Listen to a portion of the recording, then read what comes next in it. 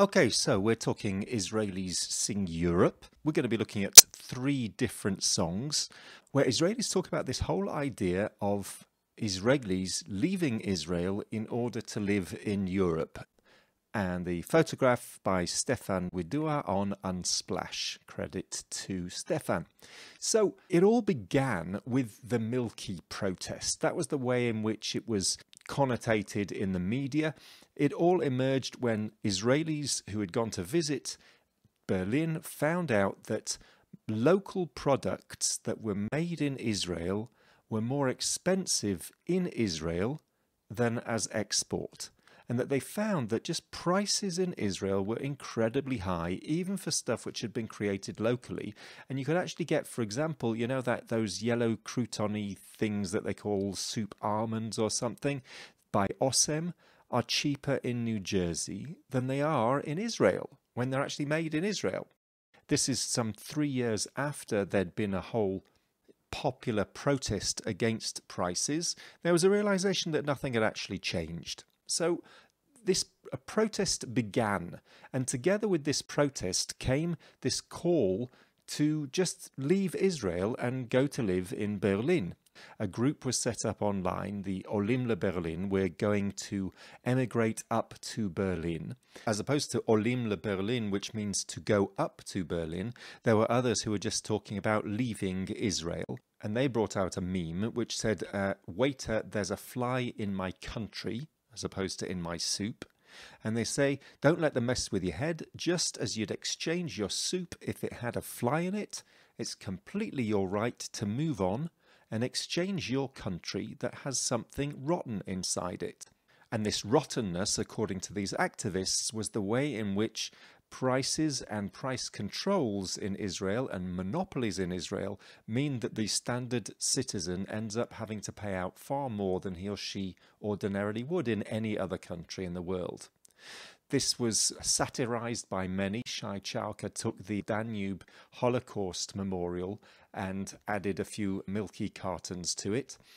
And the largest critic was the new finance minister, Yair Lapid, and he responded to questions about these folks who were wanting to go to live in Berlin. He said, A word for all those who've had enough and are leaving for Europe. You happen to have caught me in Budapest. I came here to give a speech to the Parliament against anti Semitism and to remind them how they attempted to murder my father here only because Jews did not have a country of their own. How they murdered my grandfather in a concentration camp, how they starved my uncles, and how my grandmother was saved from the march of death at the last minute. So you'll forgive me if I have little tolerance for people who are willing to throw the only country the Jews have into the garbage because Berlin is more comfortable. Of course, what's interesting about all this conversation about how it is bad form to leave Israel altogether, and in particular, it's bad form to go to Europe, to go to Germany, to go to places where anti Semitism has been rife and holocausts took place, and we Jews fled from there, is that this is a very Ashkenazi approach to Europe. And when we're talking Ashkenazi, we're saying Ashkenazi as opposed to Mizrahi. A Mizrahi Jew is somebody whose origins are in Arab lands, in Muslim lands, and not Europe. For example, let's take a look at this map of Jewish immigration from 1948 to 1972. Which countries did Jews come from after the State of Israel had been established? And the main thing which is really fascinating about this map is how Eurocentric it is. Look at all these countries, and actually, if we look below the line, it's pretty much exactly the same number of people as are above the line. And yet, how many countries are we seeing on this map above the line, and how many countries are we seeing below the line? There's something really interesting about how Eurocentric even the map is. And in Israel today, ever since something like 2009, the majority of Jews in Israel are Mizrahim, are Jews from Arab lands or Muslim lands. And yet, mainstream Israeli culture, or should we call it Ashkenazi Israeli culture, has always yearned for Europe. This has been the ultimate Zionist dream was to be European. Tel Aviv is the only Mediterranean city with its back to the sea because it was established by people who come from Europe rather than the Mediterranean. The lawns and roofs in Israel, people fight to have water on their lawns when we live in the desert and we have roofs which are built to withstand the snow of Switzerland rather than the burning heat of the Middle East. We are dying to be European. And Israel also has significant scars in the way in which Israel received and welcomed refugees and immigrants from Arab lands. The Europeans were effectively greeted with open arms, and Mizrahim ended up in transit camps, effectively refugee camps, for several years before they were given the permission to leave these camps and build their own houses. And even where the houses were built were significantly limited, and the choices were limited for Jews who'd come from Arab lands. With all that, so now let's have a look at the people who are creating this song responding to the Europe crisis. Margol and Arisa. So Margalit Tzanani, often simply known as Margol, is a singer and celebrity of long-standing fame. She's been in the music business for a good long while, also well known for her strong Yemeni Mizrahi identity. And she came together with Arisa, which is Arisa is actually a, a Moroccan cooking paste, but it's also the brand for a line of parties and events created for Mizrahi gays led by Uriel Yekutieli, who's a well-known Mizrahi actor, drag star, lip sync artist, and and so on. So before we go any further, I recommend you go listen to the song. Up in the top right, there's that little eye, and you can click there in order to get to the clip of the song. And also the link is down in the comments as well if you want to click there. See you in a minute. So let's pull out a few of the references that were thrown out during the song. Madame Rothschild, have you had enough of Tel Aviv? So the choice of name is really significant. First of all, Rothschild, that is the place where you get the best cappuccinos, okay? It's the place for the yuppies to hang out.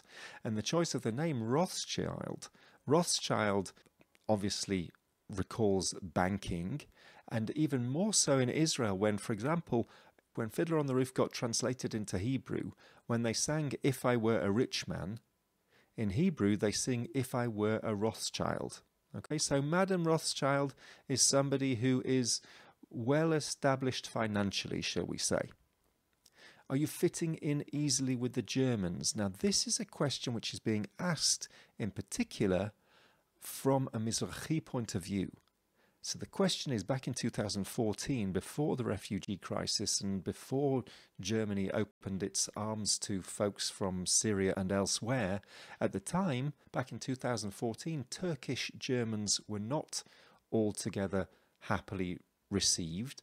Effectively, people who looked Middle Eastern, people who looked slightly darker than your standard Aryan, were not necessarily welcomed so nicely, or at least that was the mythology beginning to emerge from Europe and being heard by Mizrahim in Israel. So fitting in easily with the Germans, there's definitely a little sharp poke the idea that you're obviously not fitting in nicely.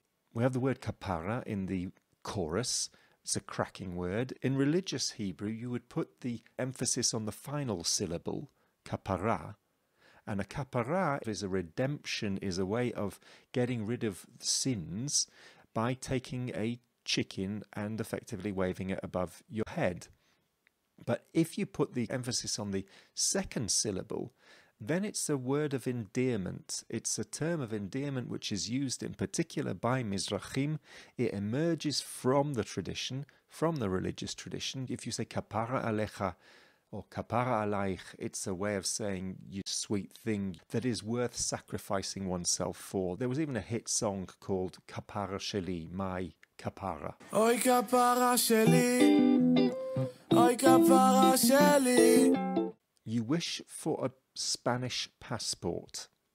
Now, here's a really interesting one, you see, because Israelis can't automatically receive a passport. So the idea of living in Europe is not open to everybody. And for a good long while, the strange idea of people being able to get citizenship in Germany emerged from people being able to point out that their grandparents were from Germany. Their grandparents may well have died in the Holocaust in Germany but the fact that their grandparents were German has allowed many Israelis to get their own citizenship in Germany on the back of their slaughtered grandparents. But here, Margol is talking about somebody who wishes for a Spanish passport. And a Spanish passport is only available to Mizrahim. This all emerges from the Spanish government finally deciding to kind of make reparations for the expulsion of Jews from Spain back in the late 15th century. And most Spanish Jews, Sephardi Jews, Sepharad is the Hebrew for Spain, so Sephardi Jews, the vast majority of them ended up in Arab speaking lands or in Muslim lands. And now the law has been passed that you can get yourself Spanish citizenship, which also means European citizenship, if your family name is the kind of name that Jews had in Spain back in the 15th century. So anybody wishing for a Spanish passport is somebody who has Mizrahi roots, not Ashkenazi roots. And then this final line, Hawedge Shelach. Wedge is LGBTQ plus slang for your look, your style. And your look, my dear, is from Bat Yam. And Bat Yam is working class and much more associated with Mizrahim than with Ashkenazim. So this whole song is actually speaking to the Mizrahi young woman who's trying to get accepted and trying to move up in the world in order to associate not only with Ashkenazis, but in order to associate with Europeans altogether. And this is being laughed at by the proud Margol who is saying it may be crazy here, but it's it's what we have and you're addicted to it as well. So there's a question. Do you ever feel that a visit to Israel is a visit to the Arab world or to an extension of Europe or a blend between the two? The song sees Israelis as Americans with an Arab sense of honour. So, do you understand this as a compliment or something else? How would you see it? And how would you think that Margol is singing it? And finally, this is a song that's emerging from the margins, the Mizrahi margins, LGBTQ margins, whilst supporting a form of patriotism against the more globalist elite. So, how do these interesting juxtapositions sit with you? And those are our questions about Israelis singing Europe Part 2. Here it Ain't Europe by Margalit Tzanani and Arisa. Photo by Stefan Widua on Unsplash. This was brought to you by Makom, the Israel Education Lab of the Jewish Agency for Israel, in a project we've been working on in partnership with Moishe House and wonderfully generously supported by the Jim Joseph Foundation. Do look out for our other guides to additional songs singing Europe.